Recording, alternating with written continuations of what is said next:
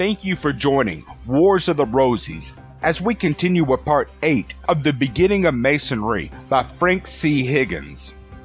Rosicrucianism and Freemasonry. We frequently hear of an alleged connection between Freemasonry and so called Rosicrucianism brotherhoods. In the course of the last couple of centuries, there have been many hundred claims set up to the title of Society of Fraternity of Rosy Cross. Any brother who feels inclined to dip into the question of extinct Masonic rites and degrees by a short course of Mackey's Masonic Encyclopedia will be, if not already informed, astonished to find that all the Masonry we are officially aware of today is but a mere fragment of all that has, at one time or other, figured as of impressive importance of the craft. The archives of the Scottish Rite are preserved evidences of the voluntary abdications of a number of imposing Masonic rites that once enjoyed high favor and numerous membership, but which eventually dissolved under pressure of internal dissensions, and the larger hope embodied in the rise of a body so constituted as to obviate the possibility of unbecoming strife and other weaknesses.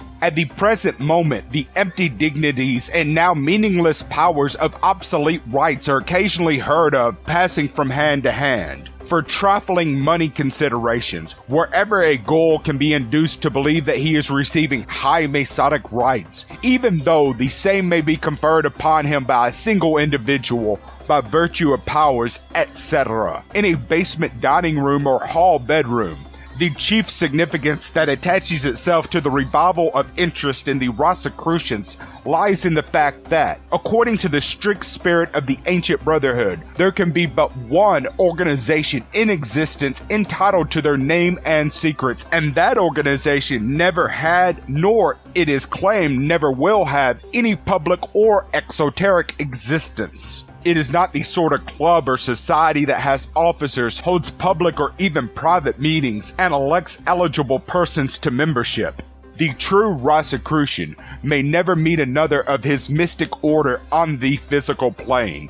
He is not initiated in a hall or chapter room after having paid a fee but it is made known to him by occult means that he has been found worthy of admission into this literal band of immortals, and therefore he is shown how to project his perceptions onto a higher plane upon which it is possible for him to meet, know, and commune with all his fellow members who assemble like witches upon a Sabbath in a twinkling of an eye by merely willing to do so, no matter where their physical bodies may happen to be sojourning. In fact, the first public gossip concerning the Rosicrucians and their wonderful powers began to be bruited about the beginning of the 17th century. Membership to the fraternity was attributed to various alchemists by the herd and claimed by numerous charlatans on the other hand. Many tales are told of the discovery of weird underground vaults in otherwise desert places which upon being opened were found to be brilliantly illuminated by perpetual burning lamps,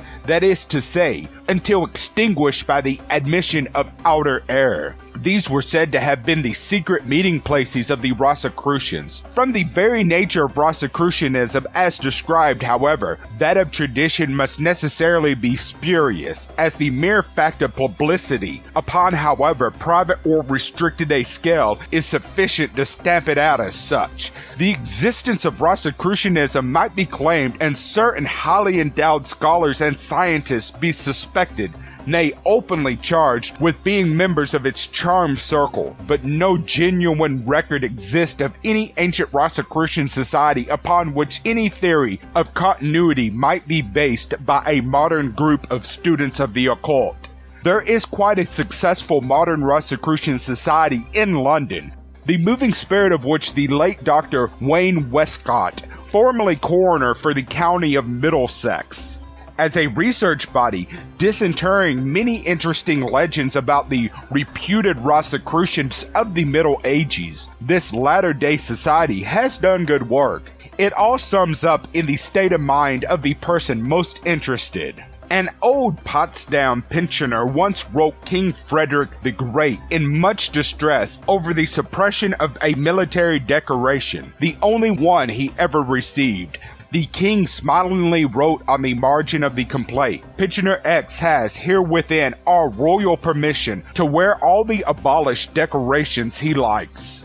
Just as the evolutionary process through which all organic beings have arrived from lower forms to present high states of development may be traced in the structures of those beings themselves, so the structure of any mystical order claiming extraordinary antiquity will reveal the foundation of its claims to the student, irrespective of any personal contentions. Our own craft has hardly departed from the use of ancient monitors and lectures connecting Masonry with the beginnings of the human race Adam, Seth, Enoch, Noah, Moses, and other patriarchs, which had become a laughingstock among our strenuous modernists when it begins to transpire that the structure of Freemasonry is superior in her traditions, and that he who knows Masonry structurally will have no difficulty whatever in comprehending all these curious connections as apt and purposeful. When this knowledge becomes more common to the fraternity, we shall be in a position to understand the difference between that which guarantees the genuineness of our antiquity and the claims that any mystical brotherhood may at present set up of surpassing age, royal descent, and the possession of the fundamental arcana of the universe, without the average Masons being able to prove that his pretensions have any greater value than those of the newcomer. Thank you for watching. Please don't forget to share, like, subscribe, and comment. And if you can, please consider donating towards the Roses. Links to PayPal and Patreon are in the description. Thank you so very much.